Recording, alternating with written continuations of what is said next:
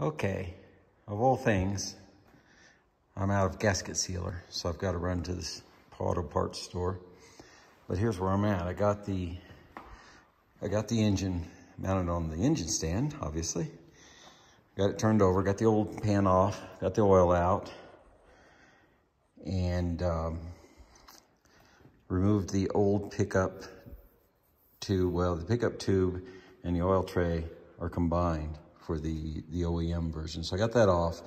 Got the new pickup tube on here, which also involved replacing one of the main cap studs here. And this uh, got the new windage tray gasket on there. Problem is, I need to put a little oil or a little gasket sealer in each corner according to the instructions.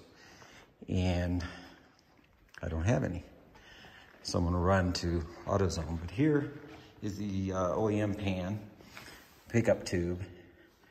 Uh, it's a composite, which is a nice way of saying plastic. They have a use for it. Probably no market for it, but who knows? Maybe I'll try to sell it. Got the, the car lifted up just to give me a little more working space here. It's a nice thing about this storage type of lift is it's designed to stay up for long periods of time. So it's no problem just raising it up and working underneath it. So that's where we're at. I also removed the, the standard oil cooler uh, adapter because it will not clear the frame.